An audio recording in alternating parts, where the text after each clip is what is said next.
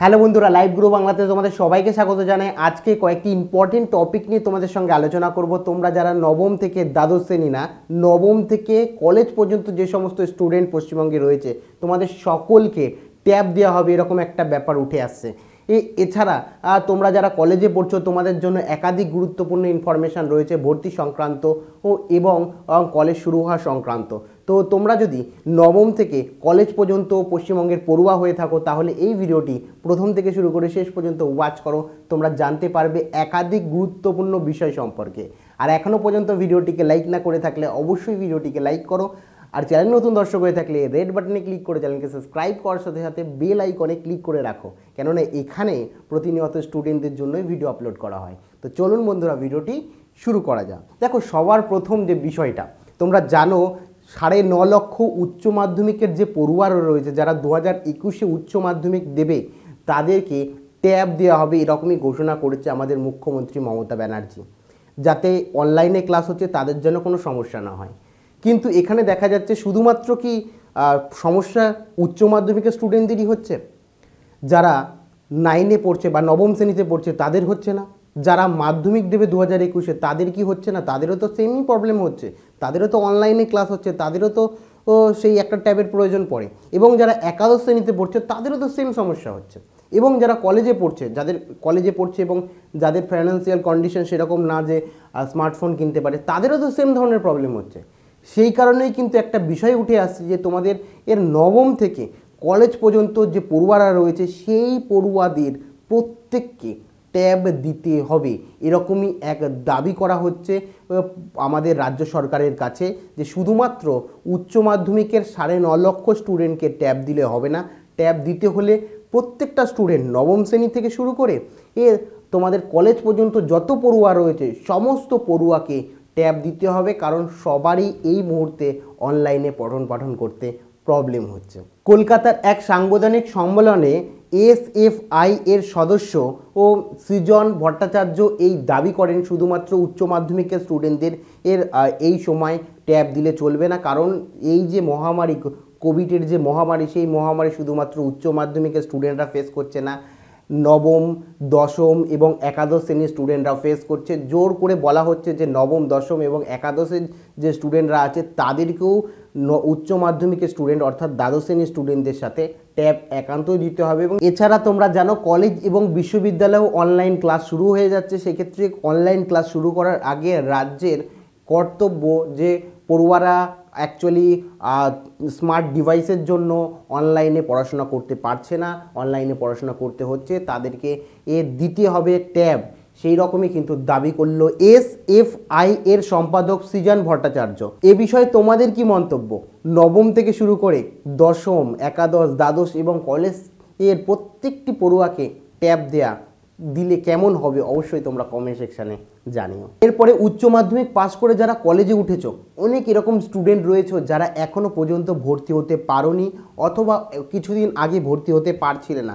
অনেকে অনেক ধরনের অভিযোগ করছিলে যে আমি এখনও পর্যন্ত ভর্তি হতে পারিনি, কিন্তু ভর্তির যে সময়সীমা সেটা পেরিয়ে গেছে। এ কিন্তু দেখা গেছে এই মুহূর্তে বিভিন্ন কলেজ এরকম রয়েছে যে কলেজগুলোতে এর সম্পূর্ণ সিট এখনও পর্যন্ত পূরণ হয়নি। অনেক এরকম কলেজ রয়েছে যে কলেজগুলোতে শূন্য পদ রয়েছে যেখানে স্টুডেন্টরা ভর্তি হতে পারে। সেই কারণে কিন্তু কলেজগুলো আবার পুনরায়, আয়, ভর্তি প্রক্রিয়া চালু করে দিয়েছে। অনেক এরকম কলেজ রয়েছে এবং অনেক কলেজ এরকম রয়েছে যে ভর্তি প্রক্রিয়া তো চালু ছিল এবং সিটও অনেক ফাঁকা রয়েছে, কিন্তু ওয়েটিং লিস্টে মেধা তালিকায় অনেক নাম রয়েছে যারা এখনও পর্যন্ত ভর্তি হয়নি। তাদের থেকে জানা হচ্ছে যে তারা কি অ্যাকচুয়ালি ভর্তি হবে না অন্য কোনো কলেজে ভর্তি হয়ে গেছে। যদি তারা ভর্তি না হয়, সেক্ষেত্রে সেই কলেজেও কিন্তু শূন্য পদ বাড়বে বা সিট ফাঁকা থাকবে, সেই কলেজেও কিন্তু ভর্তির প্রক্রিয়া পুনরায় চালু হবে। নিউ আলিপুর কলেজে অর্থনীতি, দর্শন, সংস্কৃত, উদ্ভিদবিদ্যা, বিএ জেনারেলে কোনো ওয়েটিং লিস্ট না থাকায় ভর্তি প্রক্রিয়া কিন্তু পুরোপুরি চালু করে দিয়েছে। এবং কিছু কিছু এরকম কলেজ রয়েছে যে কলেজগুলো আর ভর্তির প্রক্রিয়া চালু করছে না, যেমন সুরেন্দ্রনাথ কলেজ। অধ্যক্ষ পূর্ণচন্দ্র মাইতি জানায় যে বাংলা অনার্স এবং ইংলিশ অনার্সে বেশিরভাগ পড়ুয়া ভর্তি হতে চায় এবং জেনারেল যে কোর্সগুলো রয়েছে সেই কোর্সে বেশিরভাগ স্টুডেন্ট ভর্তি হতে চায়। এবং তাদের যে কলেজ রয়েছে সুরেন্দ্রনাথ কলেজ, সেখানে কিন্তু বেশি সংখ্যক স্টুডেন্টের সিট ফাঁকাও নেই, কারণ ম্যাক্সিমাম স্টুডেন্ট কিন্তু ভর্তি হয়ে গেছে। দেখা গেছে বিজ্ঞানের কিছু বিভাগ রয়েছে, রসায়ন, পদার্থ এবং গণিত, মিলিয়ে কুড়ি থেকে পঁচিশটি আসন টোটাল ফাঁকা রয়েছে। কিন্তু দেখা গেছে আগের বার যখন এরকম পুনরায় ভর্তির প্রক্রিয়া চালু করেছিল, তখন দেখা গেছিল সেই ভর্তির প্রক্রিয়া পূরণ হয়নি।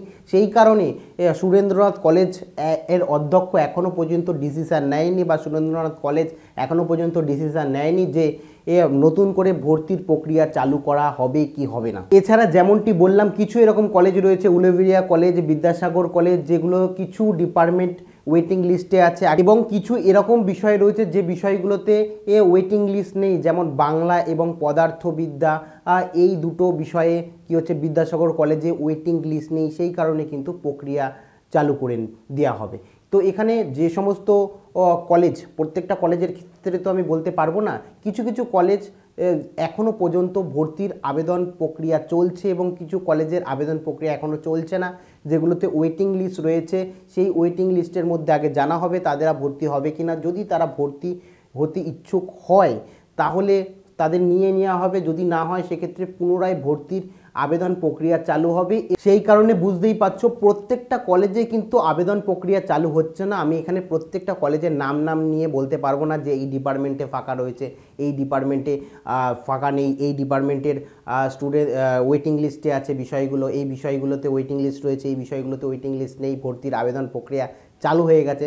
সেই কারণে কি হচ্ছে, তোমরা যে কলেজে ভর্তি হতে চাও, সেই কলেজের অফিসিয়াল যে ওয়েবসাইট রয়েছে, সেই অফিসিয়াল ওয়েবসাইট চেক করো, তোমরা জানতে পারবে যে কোন কোন বিষয়ের ওয়েটিং লিস্টে রয়েছে এবং কোন কোন বিষয়ের নতুন করে আবেদন প্রক্রিয়া চালু হয়ে গেছে। আর যেহেতু ভর্তি প্রক্রিয়া নতুন করে আবার চালু হচ্ছে, সেক্ষেত্রে রেজিস্ট্রেশন প্রক্রিয়াও কিন্তু আবার নতুন করে চালু হবে। যারা রেজিস্ট্রেশন করনি, তাদেরকে বলব, যারা ভর্তি হয়ে গেছে, তোমাদের রেজিস্ট্রেশন বিষয়টি তোমরা দেখো। অফিসিয়াল ওয়েবসাইট থেকে চেক করো, কবে থেকে রেজিস্ট্রেশন শুরু হবে। অ্যাকচুয়ালি প্রত্যেকটা কলেজে রেজিস্ট্রেশন কিন্তু শুরু হয়ে গেছে অনলাইনে এ। পনেরোই ডিসেম্বর পর্যন্ত কিন্তু লাস্ট রেজিস্ট্রেশনের ডেট রয়েছে। এ শিক্ষামন্ত্রী পার্থ চট্টোপাধ্যায় জানিয়ে দিয়েছে এবং উচ্চ শিক্ষা দপ্তরও কিন্তু জানিয়ে দিয়েছে। কলেজের যে স্নাতকের রেজিস্ট্রেশন প্রক্রিয়া আছে, সেটা পনেরো তারিখ পর্যন্ত রেজিস্ট্রেশন করা হবে, তারপরে কিন্তু আর হবে না। সেই কারণে পনেরো তারিখ লাস্ট ডেট রয়েছে রেজিস্ট্রেশনের। যারা ভর্তি হয়ে গেছে এখনও রেজিস্ট্রেশন করনি, তারা রেজিস্ট্রেশন করে নাও। তো এই গুরুত্বপূর্ণ বিষয়গুলোই তোমাদের জানানো ছিল। তোমাদের মধ্যে কারা উচ্চ মাধ্যমিক পাশ করে গেছো, কিন্তু এখনও পর্যন্ত কলেজে ভর্তি হতে পারোনি। অবশ্যই মেনশন করো, এরকম কোনো স্টুডেন্ট থাকলে। এ, আর অবশ্যই তোমরা ভর্তি হয়ে যাও। তোমাদের এর কাছাকাছি যে কলেজগুলো রয়েছে, সেই কলেজগুলোর অফিসিয়াল ওয়েবসাইট চেক করো। অবশ্যই কোনো না কোনো কলেজের এ, ফাঁকা রয়েছে সিট সংখ্যা। আর তো তো আজকের মতো এইটুকুই। আবার দেখা হচ্ছে অন্য কোনো ভিডিওতে টেক কেয়ার Bye bye.